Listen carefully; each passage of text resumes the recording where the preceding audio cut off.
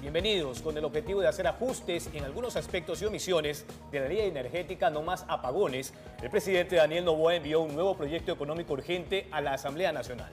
Así es, para incrementar el techo de generación eléctrica para empresas privadas de 10 a 100 megavatios. Y aquí les contamos los detalles.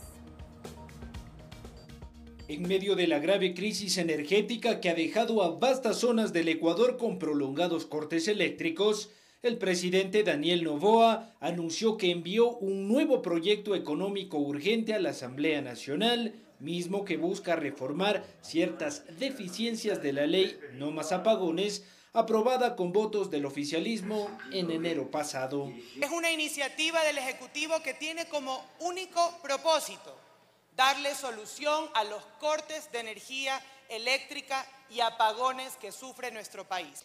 El eje central del proyecto gira en torno a una reforma para ampliar el techo de generación eléctrica para la empresa privada.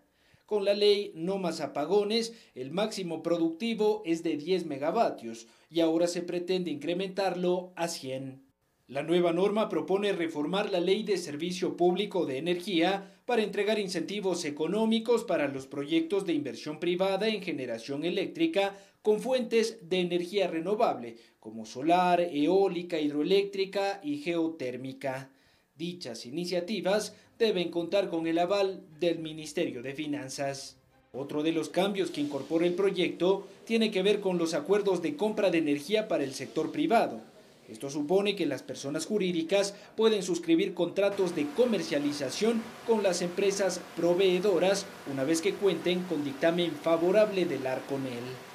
El proyecto también propone concesionar empresas privadas o de economía popular y solidaria los proyectos de construcción, operación y mantenimiento de la infraestructura energética. Tras conocer el envío de este proyecto, el presidente del legislativo, Henry Kronfle, anunció que solicitará la comparecencia personal e indelegable de las autoridades eléctricas del gobierno de Daniel Novoa. Es por eso que estoy convocando a comparecer a las autoridades del sector eléctrico ante la Asamblea Nacional para que nos rindan cuentas a todos los ecuatorianos y podamos tomar medidas que detengan este desastre. Informó Álvaro Terán.